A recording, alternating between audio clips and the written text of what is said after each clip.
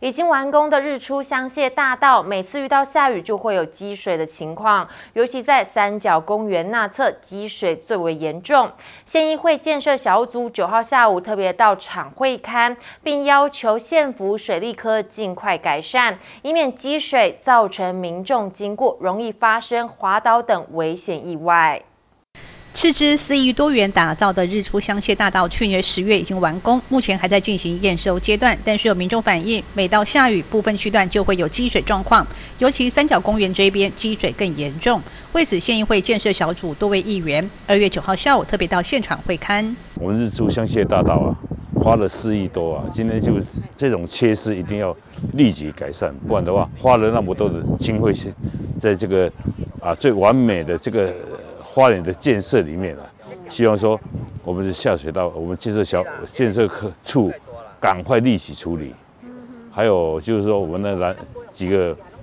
几个广东街、无线街、南京街，呃，这几条街的上了上面，就是说要到日出香榭大道这个地方，有的不熟悉地形的人。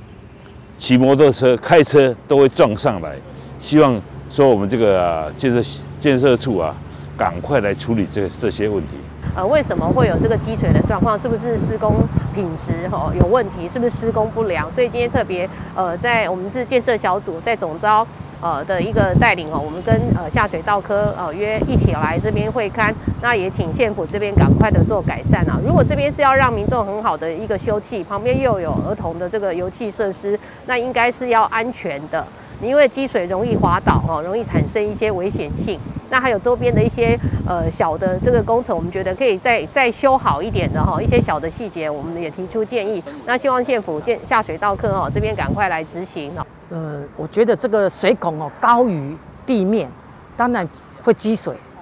所以这个应该设计应该有待改善，还有改善的空间。哦你做这个这样子。对对。哦，对。因为这个街较悬啊，免啊，免讲话积水。哦，晚上哈，因为灯光可能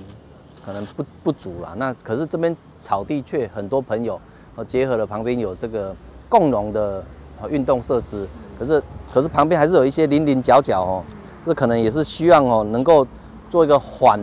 缓坡啦哈，啊，怕小朋友踢到跌倒，踢到跌倒，哦啊，那另外哈，